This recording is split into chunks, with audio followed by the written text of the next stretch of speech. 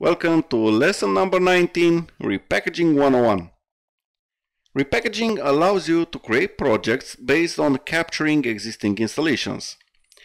The installation repackaging operation is based on monitoring the file system and registry changes performed by the monitored installation. The repackaging process should not be performed on MSIs as we touched in a previous video, those scenarios must be handled via MST files.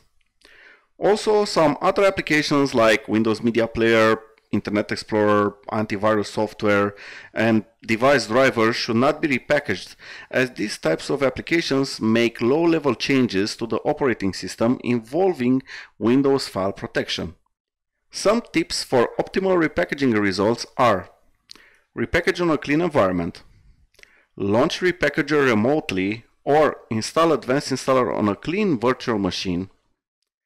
Use the repackager interface to exclude unwanted items and close all other applications.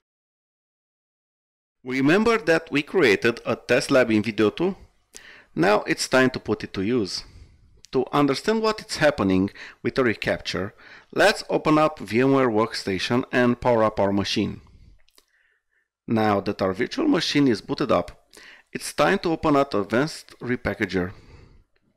Now in Advanced Repackager we have two options. Either we click Capture Setup and select our exe file, or we check the Session Monitoring checkbox and the repackager will detect everything that happens on the system. Because I only want to show how the repackager works, we are going to go with the Session Monitoring option.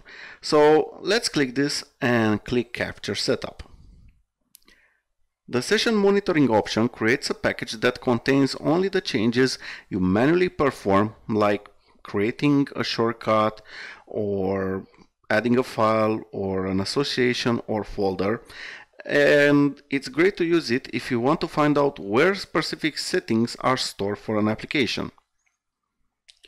Now that we clicked Capture Setup, let's start in VM and click on our previously configured virtual machine. As you can see, Advanced Installer automatically reverses the machine to a specific snapshot. Cool, right?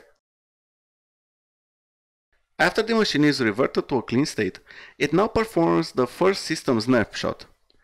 In this step, Advanced Installer takes all the registry and files and compiles them in a snapshot, so to say. Now that the first snapshot is done, let's modify some things on the machine. Let's say I want to manually create this registry and I want to copy this file in program files.